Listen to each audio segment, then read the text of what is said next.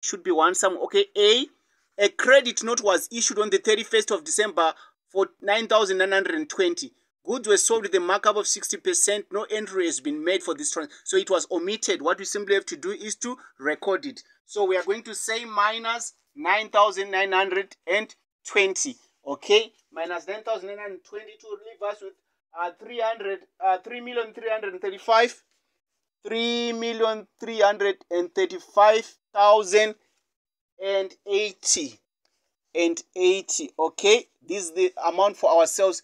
The moment we have got uh, allowances which were not recorded it means that they will also affect our cost of sales. But they affect our cost of sales at cost price. So we are going to say minus.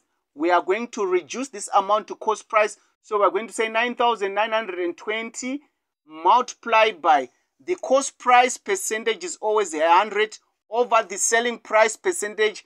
If the markup was 60%, it means the selling price percentage was 160.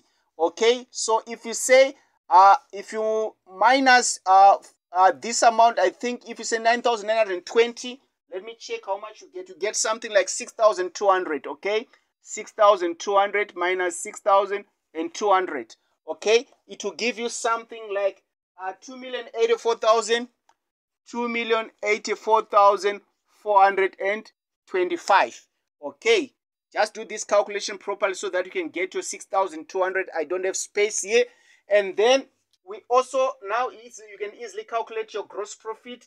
Our gross profit can actually become now, uh, it's one, 1 million, 1 million 200, uh, let me check on my calculator, 250,000.